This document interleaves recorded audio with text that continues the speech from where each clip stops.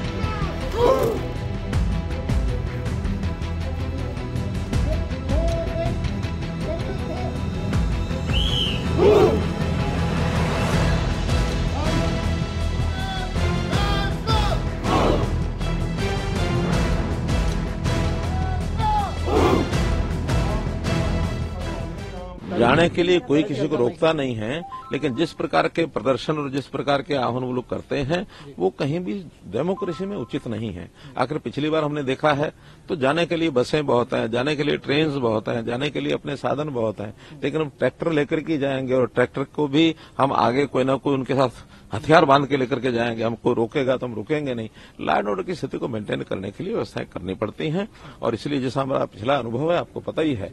इस प्रकार का काम, किसी प्रकार का प्रदर्शन डेमोक्रेसी में जो तय मानक है, उसके हिसाब से करना चाहिए, जो तय मानक नहीं है, उसके हिसाब से नहीं।